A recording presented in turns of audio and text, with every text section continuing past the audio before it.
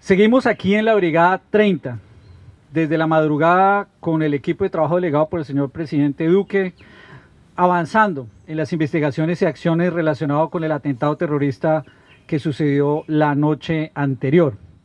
Hemos hablado con algunos de los soldados heridos, de los 36 heridos, uno de ellos se encuentra en la UCI, dos fueron intervenidos quirúrgicamente y ya están fuera de peligro y en recuperación.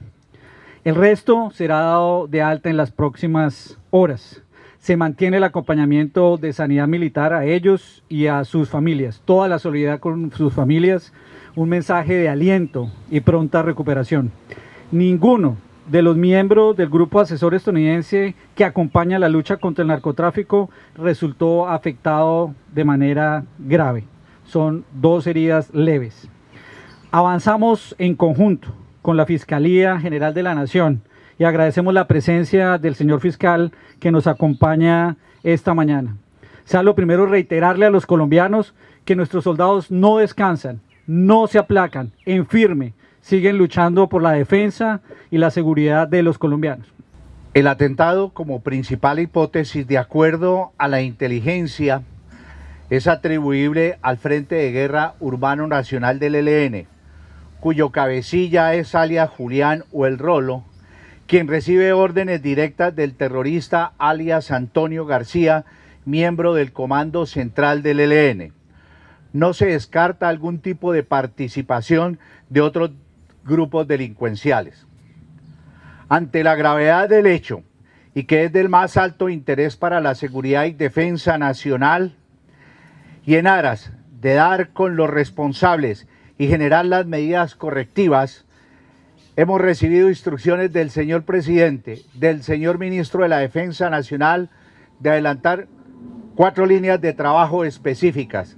La primera, la colaboración total y absoluta con la Fiscalía General de la Nación, con toda la información, con todo lo que tengamos para que se pueda avanzar de manera rápida en la investigación penal. Segunda línea, la investigación disciplinaria que estará a cargo de la Brigada 30. La tercera medida, medidas administrativas de personal que tomará el comandante del ejército dentro de sus funciones y atribuciones, mediante las cuales relevará de sus cargos a los servicios de la Guardia, al oficial de operaciones, al ejecutivo y segundo comandante y al comandante del batallón de apoyo de servicios para el combate número 30. La cuarta línea, tendremos que adelantar acciones de mejora a cargo de la inspección del ejército una vez finalice la verificación de los hechos y de los procedimientos adelantados por la unidad.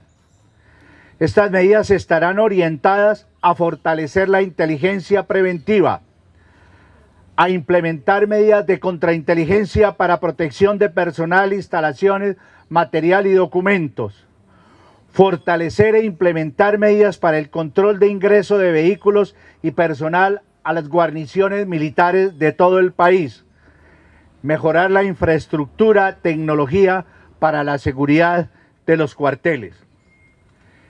El pueblo colombiano y la comunidad internacional pueden estar seguros del compromiso y la capacidad de las fuerzas militares, de la Policía Nacional, para combatir el narcotráfico y los grupos armados organizados causantes de estos hechos. Son las órdenes del señor presidente Iván Duque y el señor ministro de la Defensa Nacional, doctor Diego Molano. Sea lo primero, por supuesto, ratificar la recompensa de hasta 500 millones de pesos a quien suministre información que permita el esclarecimiento de esos hechos como se estableció el día de ayer. Los ciudadanos podrán comunicar esa información a los teléfonos 314-435-89350 o 321-394-45367. A partir de anoche en Cúcuta, señor gobernador y señor alcalde encargado, comenzaron los dispositivos en Cúcuta, en el área metropolitana y en la frontera, donde se activaron los refuerzos de acompañamiento militar y policial anunciado por el señor presidente de la República.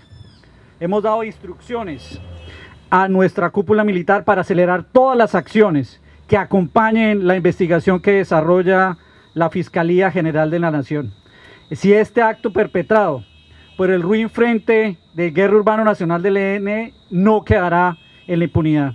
Que quede claro que los miembros del Comando Central también tendrían responsabilidad en este hecho, son terroristas y no pueden seguir posando de gestores de paz en el extranjero mientras cometen actos terroristas contra nuestros soldados y contra los colombianos.